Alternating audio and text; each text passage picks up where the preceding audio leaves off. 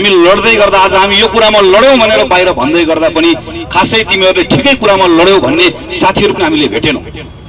त्यो बेलामा मलाई लाग्थ्यो अरू नभए पनि कम्तीमा साठी सालमा हाम्रो हाम्रो उमेरका विद्यार्थीहरूको पेटभित्र भएको आगो पनि मरिसक्यो क्या हो भन्ने लाग्थ्यो। आज मैले जिउँदो विद्यार्थीलाई माइतीघर मण्डलामा देख्दै गर्दा कम्तीमा कोही त रहेछ भन्ने मलाई लागेको छ। तपाईँहरू सबलाई म सलाम गर्न चाहन्छु। यो संविधान र क्युबाको संविधान यो संविधान र उत्तर कोरियाको संविधानमा तपाईँ एउटा फरक पनि पाउनुहुन्न। यो विधेयकको धारा धारामा दफा दफामा छलफल गर्न तयार छौँ। माननीय मन्त्रीजीले भन्नुभएछ विधेयक नपढिकन आयो। यो विधेयकमा कहाँ छलफल गर्ने मन्त्रीजी? सिंहदरबारमा गर्ने हो? संसदमा गर्ने हो? माइतीघर मण्डलामा गर्ने हो? कि तिम्रो कार्यालय धुम्बराईमा गर्ने हो? प्रत्येकमा दफा दफामा शब्द शब्दमा छलफल गर्न तयार छ। नपढिकन आएको होइन। पढेर बुझेर आयो हेप्ने हामीलाई नपढिकन आयो भन्ने हामीले बुझेर आयो प्रधानमन्त्री केपी ओली यति होल्डिङ कम्पनीको सिइओ हो। त्यसैले संसार मन्त्री वा सरकारका कसैले भनेको जस्तो के बोल्न पाइन्छ र के बोल्न पाइँदैन भन्ने कुरा नबुझिकन विधेयकमा बहस गर्न आएको होइन। तर यो सबै कुरालाई छाडेर अहिले विधेयकमा के लेखिएको छ? तपाईँले जिस्काउन पाउनुहुन्न भने लेखिएको छ। अनि त्यसलाई अहिले सुधार गरेर के बनाइएको छ? तपाईँले निरन्तर जिस्काउन पाउनुहुन्न भने लेखिएको छ। त्यो भनेको के हो? यो बोल्न पाउने लेख्न पाउने सोच्न पाउने हक कसलाई मात्र रहन्छ? सरकार संरक्षित अरिङ्गालहरूलाई मात्र रहन्छ। तपाईँ पनि सोच्नु होला आज हामीलाई यो विधेयक बन्यो भने कुन्दन काफले थुनिएला प्रदीप गगन नवीन्द्र राज थुनिएला भन्ठान्नु भएको होला। थुनिने काम हाम्रो मात्र होइन। यहाँ थुनिने कुरा भीम रावल पनि थुनिन्छन् रामकुमारी पनि थुनिन्छन्। याद गर्नु होला जसले श्री छ बडा महारानी त्यसै गरिकन श्री पाँच केपी ओली श्री छ बडा महारानी विद्या भण्डारी की जय। श्री पाँच महाराज धिराज केपी ओली की जय। श्री तीन महाराज धिराज प्रचण्ड की जय। भन्ने मान्छे बाँच्यो बाँकी मान्छे गयो। यही हो गर्न खोज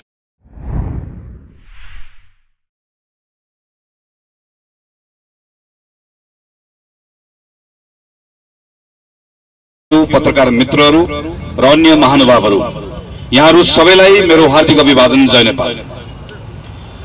हजार साठी साल माघ उन्नाइस गतेको बिहान करिब आठ साढे आठ बजेतिर प्रदीप लगायत अरू केही साथीहरू हामीहरू गिरिजाप्रसाद कोइरालालाई के हुन्छ आज भनेर सोध्न महाराजगञ्ज गएका थियौँ।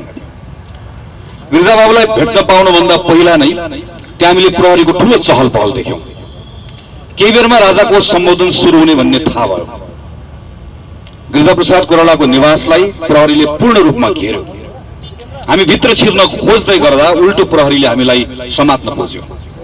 हामी बाहिर आएर हाम्रो साथी रमेश रायमाझी भन्ने साथीको मोटरसाइकलमा चढेर प्रदीप र म दुवैजना त्यो ठाउँ छोडेर गयौँ। सामाकोछीको एउटा कोठामा बस्यौँ। घरको परिवारको सदस्य साथीहरूसँग कुराकानी गर्न खोज्यौँ। केही बेरमा हाम्रो टेलिफोन काटियो। हामीले कोहीसँग पनि कुरा गर्न पाएनौँ। के भइरहेको छ बाहिर केही थाहा पनि पाउन सकेनौँ। नवीन्द्रनाथ जोशी दुई हजार छयालिस सालभन्दा अगाडि पञ्चायतको कालमा नेपाल विद्यार्थी सङ्घमा लामो काम गर्नुभएको हाम्रो अग्रज दाई हुनुहुन्छ। यस्तो अवस्थाको अनुभव दाईलाई थियो। तर सडचालिस सालमा एसएलसी दिएको अडचालिस सालमा एसएलसी दिएको प्रदीप र मलाई वास्तवमै त्यसको अनुभव थिएन माओवादीले बोल्न नदिएको ठाउँको साथीहरूको छुट्टै अनुभव थियो।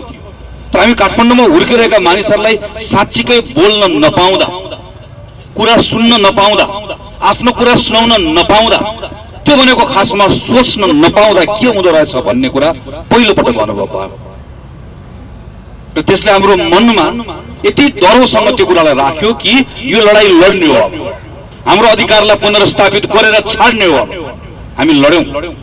हामी जित्यौँ पनि। लामो राजनीतिक संक्रमण पछाडि आएको स्थिर सरकारले जब भट्टाभट एक पछि अर्को प्रारम्भ गर्यो ट्रमा सेन्टरको चिकित्सकलाई उठाउने कामबाट। त्यसपछि गर्यो उपकुलपतिलाई विमानस्थलमा रोक्ने कुरा। त्यस पछाडि पशुपति शमशेरको गीत हटाउन कुरा गर्ने कुरादेखि लिएर पशुपति शर्मा प्रनिल गौतमलाई को व्यङ्ग्य गरेको कुरालाई पक्रेर लिएर जाने कुरादेखि लिएर वा भिटियनको गीत हटाउन लाउने कुरासम्म यी सबै कुराहरू जब आए सरकारले गर्यो त्यो म संसदमा बोल्न उभिँदै गर्दा म त्यही कुरा सम्झन्थेँ। यो कुनै छुट्टै घटना होइन। यसलाई जोडेर हेर्नुपर्छ। यसलाई जोडेर हेऱ्यो भने घटना होइन घटना पछाडिको नियत थाहा हुन्छ। तर त्यो बेलामा मलाई लाग्थ्यो यो घटनाले किन हामी थोरैलाई मात्र बोलिरहेको छ? त्यही बिचमा सूचना प्रविधि विधेयक आयो। यो विधेयक आए पछाडि मैले समय मागेर संसदमा बोले। संसदमा बोल्दै गर्दा पनि समर्थन गर्ने खासै साथीहरू हुनुहुन्न थियो। संसदको समितिमा गएर फरक मत राखे। फरक मतमा लड्यौँ हामीहरू अल्पमत र बहुमत भयो। यत्रो लामो प्रक्रिया भयो। महिनौ लाग्यो। हामी लड्दै गर्दा आज हामी यो कुरामा लड्यौँ भनेर बाहिर भन्दै गर्दा पनि खासै तिमीहरूले ठिकै कुरामा लड्यौ भन्ने साथीहरू पनि हामीले भेटेनौँ। त्यो बेलामा मलाई लाग्थ्यो अरू नभए पनि कम्तीमा साठी सालमा हाम्रो हाम्रो उमेरका विद्यार्थीहरूको पेटभित्र भएको आगो पनि मरिसक्यो क्या हो भन्ने लाग्थ्यो। आज मैले जिउँदो विद्यार्थीलाई माइती घर मण्डलामा देख्दै गर्दा कम्तीमा कोही त रहेछ भन्ने मलाई लागेको छ। तपाईँहरू सबलाई म सलाम गर्न चाहन्छु। तपाईँहरू आज जो जो आउनु भएको छ तपाईँहरूको आजको यहाँको उपस्थिति इतिहासमा लेखिनेछ किन म यसको व्याख्या गर्छु? तपाईँहरू आज घरमा गएर एकपटक संविधान पल्टाएर पढ्नुहोस्। धारा सोह्रमा सम्मानपूर्वक बाँच्न पाउनेदेखि लिएर धारा छयालिसमा देश निकाला विरुद्धको हकसम्म अधिकारै अधिकार लेखिएको छ। त्यहाँ खान पाउने हक छ त्यहाँ घरको हक छ वातावरणको हक छ पढ्न पाउने हक छ स्वास्थ्यको हक छ सबै कुरा लेखिएको छ। यो सबै कुरामा धारा सत्रमा लेखिएको एउटा वाक्य हटाइदिनुहोस्। विचार र अभिव्यक्ति स्वतन्त्रताको हक अर्थात् बोल्न पाउने हक। यो एउटा हकलाई माइनस गरेर संविधान एकपटक पढ्नुहोस् त। यो संविधान र क्युबाको संविधान यो संविधान र उत्तर कोरियाको संविधानमा तपाईँ एउटा फरक पनि पाउनुहुन्न। सबै ठाउँ लेखिएको हुन्छ। खानाको हक नानाको हक छानाको हक सबै संविधानमा लेखिएको हुन्छ। सबै नेताहरूले यसको बाछा गरेका हुन्छ। सबै राज्यले यसको सङ्कल्प गरेको हुन्छ। फरक यति मात्रै हो। तपाईँले बोल्न पाउनुहुन्छ तपाईँले प्रश्न गर्न पाउनुहुन्छ। तपाईँको प्रश्न गर्न पाउने हक खोसिएपछि अरू हकको केही पनि अर्थ रहँदैन। त्यसैले अघि बाबुरामजीले सुरुमा भन्नुभयो वाक स्वतन्त्रता विचार अभिव्यक्तिको हक भनेको सबै अरू अधिकारको मानव अधिकारको मूल हो स्रोत हो आधार हो। यो भत्कियो भने के बाँकी रहन्छ? यो भत्कियो भने केही पनि बाँकी रहँदैन। यो विधेयकको धारा धारामा दफा दफामा छलफल गर्न तयार छ। माननीय मन्त्रीजीले भन्नुभएछ विधेयक नपढिकन आयो। यो विधेयकमा कहाँ छलफल गर्ने मन्त्रीजी? सिंहदरबारमा गर्ने हो? संसदमा गर्ने हो? माइतीघर मण्डलामा गर्ने हो? कि तिम्रो कार्यालय धुम्बराईमा गर्ने हो? प्रत्येकमा दफा दफामा शब्द शब्दमा छलफल गर्न तयार छ। नपढिकन आएको होइन। पढेर बुझेर आयो हेप्ने हामीलाई। नपढिकन आयो भन्ने। हामीले बुझेर आयो पढेर आयो। यो विधेयकमा धेरै कुरा थुप्रै कुराको बारेमा बाबुरामजीले प्रदीपजीले चर्चा गर्नुभएको छ। म दफा दफामा जान्न लेखेर तपाईँहरूलाई भन्ने कोसिस गरेका छु। बोलेर तपाईँहरूलाई भन्ने कोसिस गरेका छु। यति कुरा विद्यार्थी साथीहरूले बुझ्दै हुन्छ। अघि प्रदीपजीले यहाँ भन्नुभयो प्रधानमन्त्री केपी ओली यति होल्डिङ कम्पनीको सिइओ हो। प्रदीपजीले यो बोल्न पाउनुहुन्छ कि पाउनुहुन्न? हाम्रो संविधानले भन्छ तपाईँलाई लागेको सबै कुरा गरेर बोल्न पाउनुहुन्छ। तर तपाईँले जात जातिका बिचमा खलल पुर्याउने कुरा बोल्न पाउनुहुन्न। कुनै पनि धार्मिक सम्प्रदायलाई भड्काउने कुरा बोल्न पाउनुहुन्न। तपाईँले गाली बेजती पनि गर्न पाउनुहुन्न। यो प्रदीपजीले बोलेको कुरा गाली बेजती हो भने माइतीघर मण्डलामा बोले पनि गाली बेजती हो। तल रक्त पार्कमा गएर बोले पनि गाली बेजती हो बेलुका गएर सामाजिक सञ्जालमा लेखे पनि गाली बेजती हो। गाली बेजती के हो र के होइन भन्ने कुरा संविधानले पनि भनेको छ कानुनले पनि भनेको छ। हामीले बकैदा गाली बेजती भयो भने सजाय के दिने भन्ने कुराको लागि फौजदारी संहिता भनेर कानुन बनाएका छौँ। यदि यो गाली बेजती हो भने त्यो कानुनले प्रदीपजीलाई गाली बेजतीको मुद्दा लाग्छ। उहाँले सामाजिक सञ्जालमा लेख्नुभयो भने के गर्ने भन्ने कुरा पनि त्यहाँ प्रष्टसँग लेखिएको छ। त्यसैले संचार मन्त्री वा सरकारका कसैले भनेको जस्तो के बोल्न पाइन्छ र के बोल्न पाइँदैन भन्ने कुरा नबुझिकन विधेयकमा बहस गर्न आएको होइन। तर यो सबै कुरालाई छाडेर अहिले विधेयकमा के लेखिएको छ? तपाईँले जिस्काउन पाउनुहुन्न भने लेखिएको छ। अनि त्यसलाई अहिले सुधार गरेर के बनाइएको छ? तपाईँले निरन्तर जिस्काउन पाउनुहुन्न भने लेखिएको छ। त्यो भनेको के हो? प्रदीपजीले आज बेलुका गएर लेख्नु हो सामाजिक सञ्जालमा। प्रधानमन्त्रीजी तपाईँ यति कम्पनीको सिइओ हो। एकपटक जिस्काउनु एकपटक छुट छ। फेरि लेख्नुभयो तपाईँले निरन्तर जिस्काउनु भएको हुनाले गर्दा तपाईँलाई पाँच वर्ष थुनिएको छ। यो कानुनले भनेको यही हो। तपाईँ बोल्न पाउनुहुन्न। तपाईँ लेख्न पाउनुहुन्न अर्थात् तपाईँ सोच्न पाउनुहुन्न। यो बोल्न पाउने लेख्न पाउने सोच्न पाउने हक कसलाई मात्र रहन्छ। सरकार संरक्षित अरिङ्गालहरूलाई मात्र रहन्छ। यो रातारात आएको होइन। प्रधानमन्त्री बलियो भएर आएको होइन साथीहरू यो। प्रधानमन्त्री लुते भएर आएको प्रधानमन्त्री कहाँ भएर आएको हो अस्वस्थ प्रधानमन्त्री हुनुहुन्छ म स्वास्थ्य लाभको कामना गर्छु। तर तपाईँ मलाई सबैलाई थाहा छ। प्रधानमन्त्रीजी प्रत्येक दिन साँझ दुई घन्टा तिन घन्टा सामाजिक सञ्जाल पढ्नुहुन्छ। त्यो सामाजिक सञ्जाल पढ्दै गर्दाखेरि जब उहाँ देख्नुहुन्छ उहाँको बारेमा बोलेको उहाँको बारेमा टिप्पणी गरेको उहाँलाई प्रश्न गरेको उहाँलाई आलोचना गरेको सहन सक्नुहुन्न। म काम गरेर उत्तर दिन्छु। आलोचना गर्नेका मुखहरू म काम र परिणामबाट बन्द गरिदिन्छु भन्ने हिम्मत नेपालको प्रधानमन्त्रीसँग रहेन। त्यसैले पहिला आह्वान गर्नुभयो अरिङ्गालहरू आऊ झम्ट्यु भन्नुभयो आए झम्टे तर स्वतन्त्र नागरिकहरू भागेनन् डराएनन् त्यसपछि यो कानुन आएको छ? यो कानुन त्यसपछि आएको छ? यो कानुनमा यति धेरै यति धेरै यो कानुन निर्माण गर्ने यो एउटा यो कानुन निर्माण गर्ने अवधारणादेखि लिएर अघि नै बाबुरामजीले चर्चा गर्नुभएको जस्तो कुनै पनि काम यदि कसुर हो र त्यो कसुरले सजाय प्राप्त गर्छ भने त्यो दुईटाको बिचको सामञ्जस्यता के रहन्छ भन्ने अवधारणात्मक कुरादेखि लिएर फौजदारी संहितासँग जोडिएका कुराहरू कुन कानुनको कुन ठाउँमा आउनुपर्छ भन्ने विषयदेखि लिएर यी सबै कुराहरू त्रुटि नै त्रुटिले भरिएको छ। तर यी सबै कुराको पछाडिको नियत एउटै हो।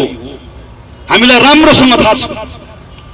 तपाईँहरू कसैले पनि फेसबुक तपाईँहरूले चलाउने ट्विटर तपाईँहरूले चलाउने इन्स्टाग्राम तपाईँहरू कोही दर्ता गर्न जानु पर्दैन।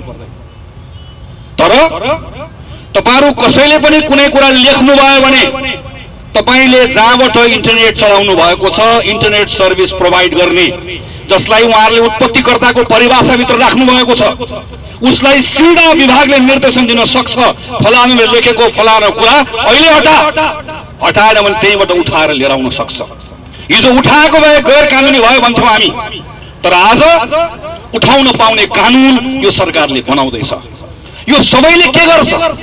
यो सबैले भोलि आज यो ठाउँमा कार्यक्रम आयोजना गर्ने सुशील भट्ट लगायतका साथीहरू यहाँ बोल्ने मनोज मणि प्रतिमा गौतमदेखि कुन्दन काफले दिल्ली बल्लेबसम्मका साथीहरू यो कार्यक्रममा आउनुभएका साथीहरू तपाईँहरू सबै साथीहरू तपाईँहरू सबैजना एक्टिभिस्टहरू।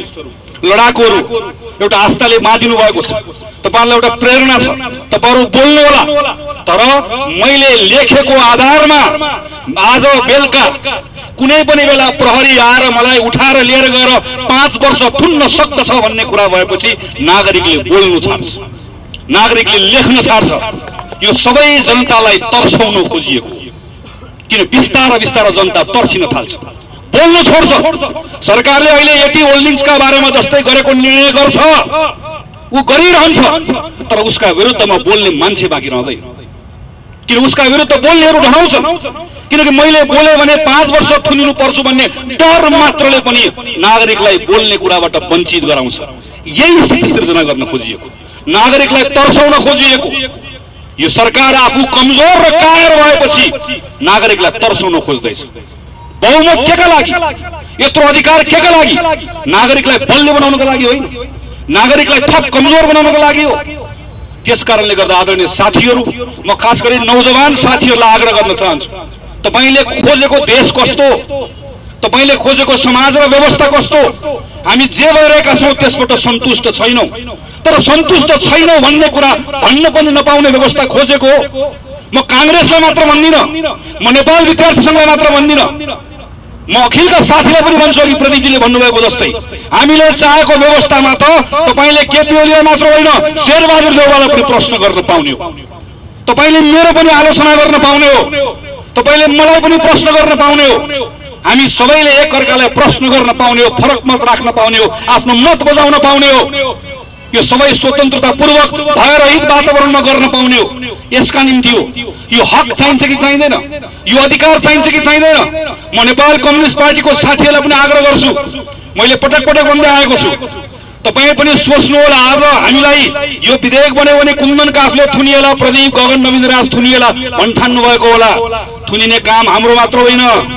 यहाँ थुनिने कुरा भीम रावल पनि थुनिन्छन् रामकुमारी पनि थुनिन्छन्। याद गर्नु होला। जसले श्री छ बडा महारानी त्यसै गरिकन श्री पाँच केपी ओली श्री छ बडा महारानी विद्या भण्डारी जय श्री पाँच महाराज धिराज केपी ओली की जय श्री तीन महाराज धिराज प्रचण्ड की जय भन्ने मान्छे बाँच्यो बाँकी मान्छे गयो। यही हो गर्न खोजेको। बोल्ने हो कि भएन अहिले? हिम्मत छ कि छैन अहिले? त्यस कारणले गर्दा म आग्रह गर्न चाहन्छु। विषय यति मात्र होइन आदरणीय साथीहरू यो सँगसँगै एकपटक हेरौँ सरकारले संसदमा ल्याएको विधेयक भनेको उसको लेजिस्लेटिभ इन्टेन्ड हो उसले चाहेको बनाउन चाहेको कानुन हो अघि प्रदीपजीले चर्चा गर्नुभएको छ म लामो भन्दिनँ तर एकपटक यो सबै विधेयक कानुन बनेको अवस्था कल्पना गर्नुहोस् सरकारले भनेको विधेयक कानुन बन्यो भने तपाईँ आज यत्रो प्रेसका साथीहरू आउनु भएको छ तपाईँले के लेख्ने र के नलेख्ने तपाईँले निर्धारण गर्ने होइन। अस्ति मुठी कस्ने पत्रकार साथीले निर्धारण गर्ने हो। तपाईँले के लेख्ने र के नलेख्ने सरकारले भनेको कानुन बन्यो भने ऊ त्यहाँ बडो लोकसेवा आयोग छ। लोकसेवा आयोगले परीक्षा लिने होइन। अब सरकारले लिने हो परीक्षा। सरकारले तोक्ने हो को कर्मचारी हुने र को कर्मचारी नहुने भनेर। सदन त पहिलेदेखि थुरथुर बनाएको छ। सदनको सभामुख प्रधानमन्त्रीको छाया बनेर लामो समयसम्म बस्नुभयो। हेर्नुहोस् त अहिले संसदको सभामुख छान्ने विषय अब आउने तिथिमितिमा पनि छान्नेवाला छैन। पार्टीको विभागको प्रमुख छान्ने जस्तो सदनलाई बनाइएको छ। संसदले यस्तो बनाइयो। अदालत पुरै थुरथुर बनाएर तर्साइएको छ। अख्तियारको नङ्ग्रा हात दाँत सबै निकाल्न खोजिएको छ। मानव अधिकार आयोगलाई पङ्गु बनाइएको छ। यो सबै कुरा गरेर सबतिरबाट अधिकार जम्मा एउटा प्रधानमन्त्रीमा लिएर गएर अनि नागरिकको स्वतन्त्रता हक विशेष सेवा विधेयक भन्नुहोस् त्यही हो। यो विधेयक भन्नुहोस् त्यही हो। प्रेस काउन्सिलको विधेयक भन्नुहोस् त्यही हो। सबै अधिकार प्रधानमन्त्रीमा ल्याउने राजा जस्तो बन्ने अनि नागरिकले प्रश्न गर्न नपाउने बनाउने। नागरिकले विचार गर्न नपाउने बनाउने। मत राख्न नपाउने बनाउने। सबै कानुन पास भयो भने बन्ने यही हो। अनि यो कानुन रोक्ने कसले हो? यो कानुन कसले रोक्छ? यो कानुन रोक्नका निम्ति हामी संसदमा थोरै छौँ। संसदीय व्यवस्था टाउको गनेरै चल्छ। सरकारले चाहँदै गर्दाखेरि यी सबै कानुनहरूलाई संसदबाट पारित गर्न सक्दछ किनकि उसँग सङ्ख्याको ताकत छ। सङ्ख्याको ताकतले उसले पारित गर्न खोज्दै गर्दा हामी थोरै भए पनि लड्छौँ। हाम्रो अधिकारका लागि लड्छौँ। हाम्रो आस्था विश्वास र भविष्यका लागि लड्छौँ। तर हाम्रो लडाइँको लागि सङ्ख्या पुग्दैन। त्यो सङ्ख्यालाई ताकत सडकबाट चाहिएको छ। अब संसदमा हाम्रो लडाइँ हुँदै गर्दा यी सबै मण्डलामा तपाईँहरू सडकमा आउने हिम्मत गर्नुपर्छ। अनि यसको आवाज यसको ताकतले संसदमा केपी ओलीलाई घुँडा टेकाउने काम हाम्रो हो। हेपेर होइन। प्रधानमन्त्रीलाई आदर नगर आदर नगरेर होइन। प्रधानमन्त्री जे कुराको लागि लड्नुभयो त्यही कुरालाई को लागिलाई सम्झाएर ठिक ठाउँमा ल्याउने काम त्यो जिम्मा हामी पुरा गर्छौँ। तर हाम्रो ताकतले मात्रै संसदको ताकतले मात्रै पुग्दैन यो। सडकको ताकत हामीलाई चाहिन्छ। आम जनताको साथ हामीलाई चाहिन्छ। त्यसैले म के काङ्ग्रेस के कम्युनिस्ट के अरू पार्टी म केही भन्दिनँ। म तमाम सबै नौजवान साथीहरूलाई आग्रह गर्छु। काठमाडौँवासीहरूलाई आग्रह गर्छु। तपाईँ अस्ति भर्खर गुठी विधेयकको बेलाको आफ्नो अवस्था सम्झनुहोस्। त्यही गुठी विधेयकमा हामी संसदमा बोल्दै गर्दा हाम्रो सङ्ख्याले पुगेन। तपाईँहरू सडकमा आउनुभयो तपाईँहरू बोल्नुभयो त्यही ताकतले सरकार झुक्यो। सरकारले फेरि त्यही विधेयक ल्याउँदै गर्दा त्योभन्दा पहिला यो कानुन बन्यो भने त्यसपछि तपाईँले त्यो ताकत राख्न सक्नुहुन्न। किनकि त्यो बेलामा तपाईँ बोल्न पाउनुहुन्न त्यो बेलामा तपाईँ लेख्न पाउनुहुन्न। त्यसैले प्रत्येकको कुरा जोडिएको छ यहाँ। प्रत्येकको कुरा जोडिएको छ प्रत्येकको हक र अधिकार जोडिएको छ। यो कुनै एउटा पार्टीको कुनै व्यक्तिको कुरा मात्र होइन। यो आधारभूत कुरा हो। त्यसैले म आम जनतालाई अपिल गर्न चाहन्छु आज यही कार्यक्रमबाट। विद्यार्थीहरूलाई अपिल गर्न चाहन्छु। पत्रकार साथीहरूलाई अपिल गर्न चाहन्छु। फरक पार्टीका साथीहरूलाई अपिल गर्न चाहन्छु। आउनुहोस् एकपटक। सडकमा आउनुहोस् लेख्नुहोस् बोल्नुहोस् भन्नुहोस् आफ्नो ठाउँबाट। यो विधेयक मान्दैन भन्नुहोस् केही दिनमा सदन सुरु हुन्छ। सदनमा हामी यसलाई रोक्नका निम्ति हामी आफूले गर्नुपर्ने काम गर्छौँ। तर हामीलाई ताकत दिनुहोस्। हाम्रो ताकतबाट ठिक ठाउँमा सरकारलाई लिएर आउँ। ठिक ठाउँमा हाम्रो कानुनहरूलाई ठिक बन्ने अवस्था बनाऊ यसका निम्ति यहाँहरू सबलाई हार्दिक आग्रह गर्दै यो कार्यक्रमको आयोजना गर्ने तमाम साथीहरू उपस्थित यहाँहरू सबैलाई धन्यवाद दिँदै मेरो कुरा टुङ्ग्याउँछु। धन्यवाद नमस्कार। जय नेपाल!